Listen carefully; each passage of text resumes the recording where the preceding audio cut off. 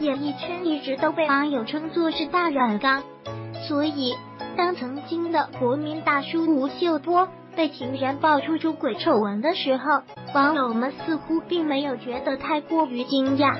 也许还因为近些年有太多的艺人纷纷倒下了的缘故。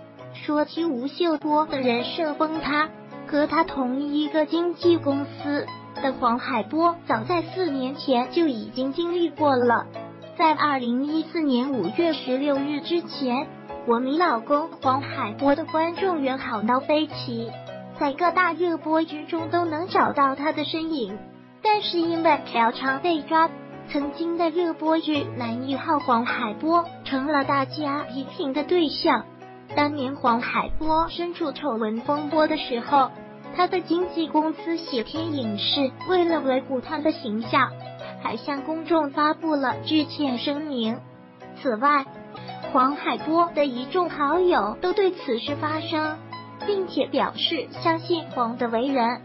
但是这些声音并没有能挽救黄海波的事业。他和张静初的一场奋不顾身的爱情，至今仍未能播出。相比之下，同公司的吴秀波似乎就要幸运很多。尽管吴的丑闻似乎比黄海波的有过之而无不及，大家都看到了，在周边艺人都被大家热议痛骂了一番之后。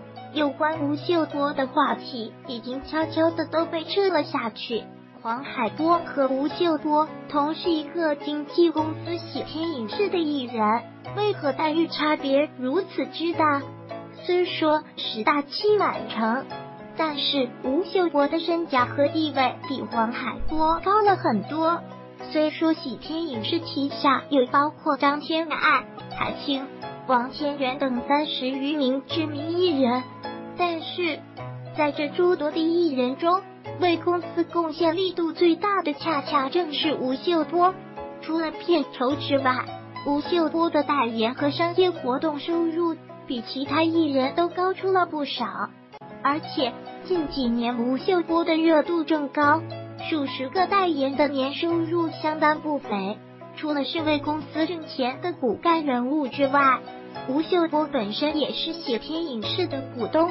据悉，吴秀波以公司发起人的身份持有喜天影视百分之二的股份，也是喜天旗下艺人中唯一一个持有公司股份的艺人股东。此外，吴秀波全资的不二文化传媒公司也是喜天的五大客户之一。吴秀波在喜天非常有话语权。